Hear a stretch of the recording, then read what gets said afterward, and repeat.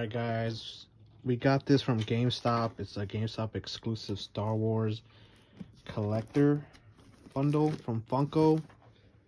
I also bought this separately, Proxy, from the Force Unleashed. Maybe they'll add him in the universe one day, the canon universe.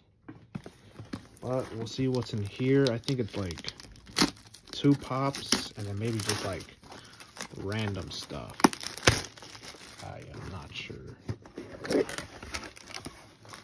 So we have Bastila Shan. I don't even know who that is. Mm. Oh, bro, if we got him. I need Revan. I have Darth Malak already. Oh, we do got Revan now. Mm -hmm. Jedi Knight Revan. So he's from the Old Republic. He's uh, good, then he turns evil, then he turns good again. But this one's a bobblehead, if you can see. Because they don't have the full rights or something like that. Yeah, that would have been cool. The Shadow Stormtrooper, I already have him. That one's pretty cool. But yeah, Darth Malak and whoever that is. Keychain of them two. She's probably from the Old Republic.